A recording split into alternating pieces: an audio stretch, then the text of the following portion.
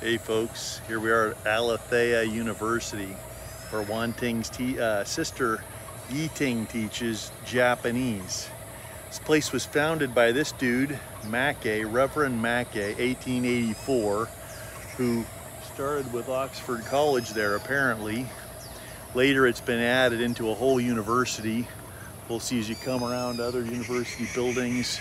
Back here you see the chapel that they built. Isn't that gorgeous architecture? And if you keep coming around over here, you'll notice the gates of entry. And then back behind you see there's a pond back there. It's pretty good. And then there's the best view of all right there. Yeah, baby. Anyway, if you visit Taiwan, check it out.